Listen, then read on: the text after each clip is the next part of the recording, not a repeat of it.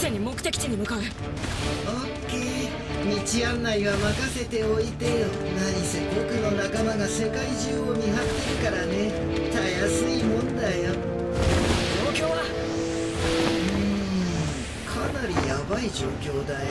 霧隠れの実験体がどうこう言ってるけど僕はよくわかんない。とにかくリンもカカシも数十人に囲まれてるみたい。湊先生は何をしている？してるって聞いてんだ。うーんあの人は何か別の任務中みたいだね。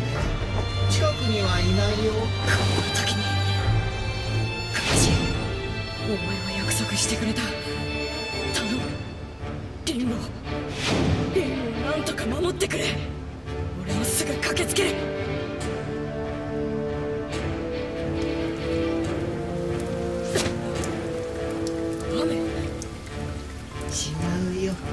これはさっきの衝撃で生まれたしぶきそこにリンとカカシがいるよどうすんの？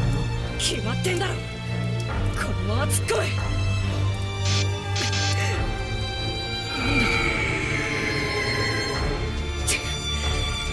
変なイメージしてんじゃねえ。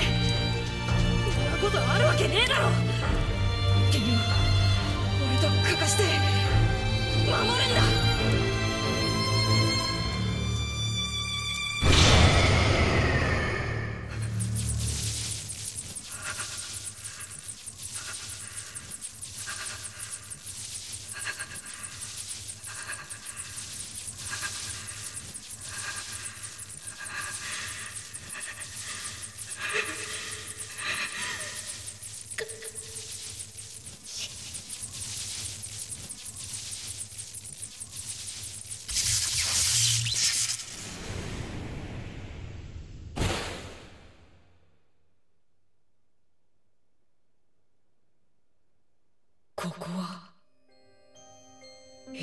ここは。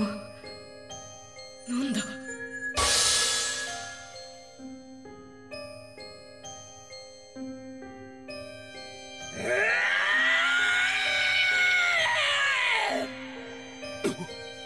増援か？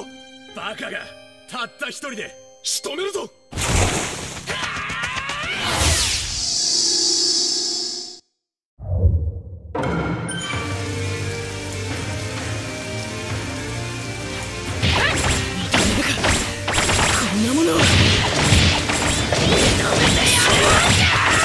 隠れの忍びが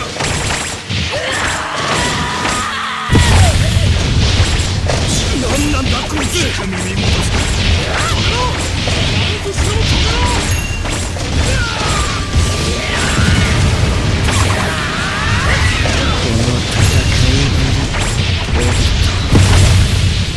マダラに選ばれた理由が分かったよ何が目的なんだあいつは。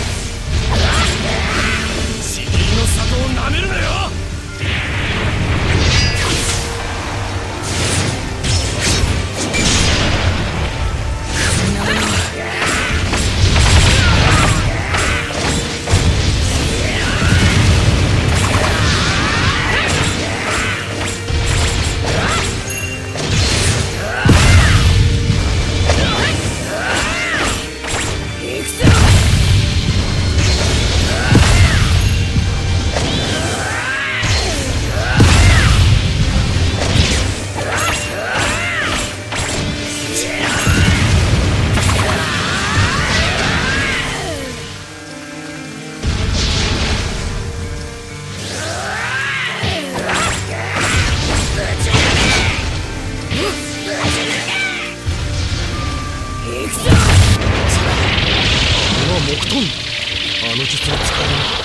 この葉隠れの初代ほかげだけではなかったのか？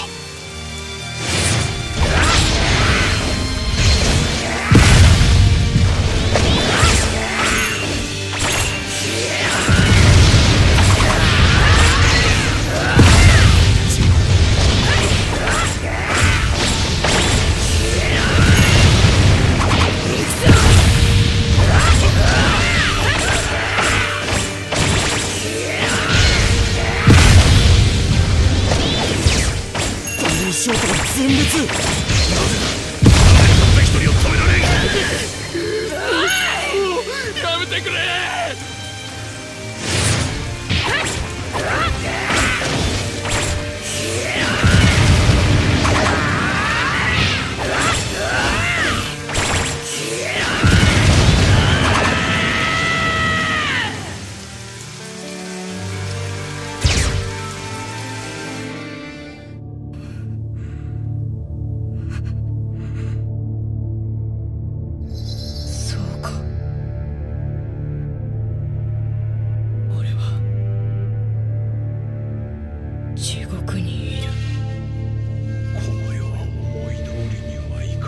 とばかりだ。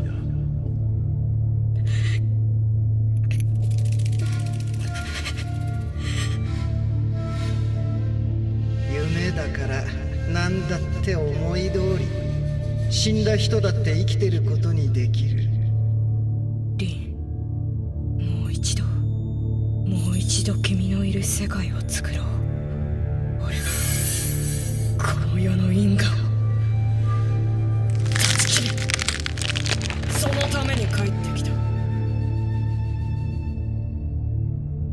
誰にも見られてはいないだろうな見ていたのは僕だけ。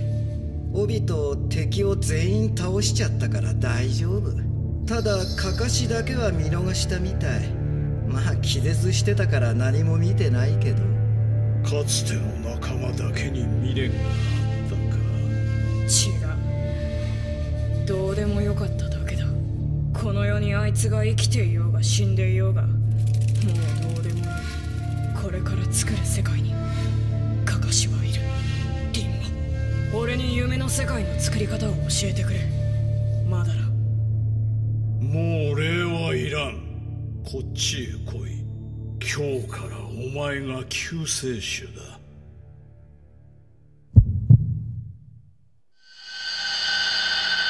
夢の世界。その作り方は至極簡単だ。要はの作り出した現実世界に全ての人間を連れてくるだけただし術の規模月を使って拡大しなければならない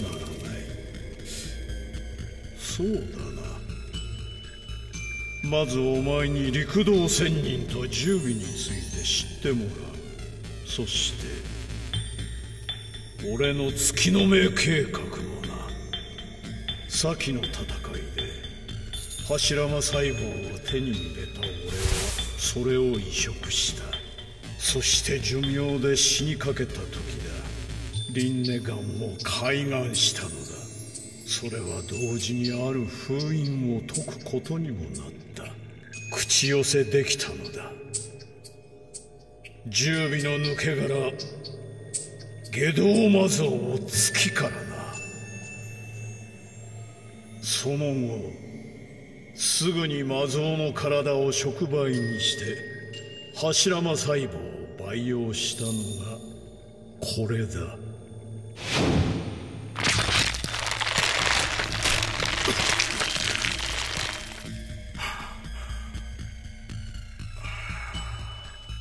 こいつに俺の意志を入れた。半分は俺だと思え動け俺が復活するまでの間お前が宇宙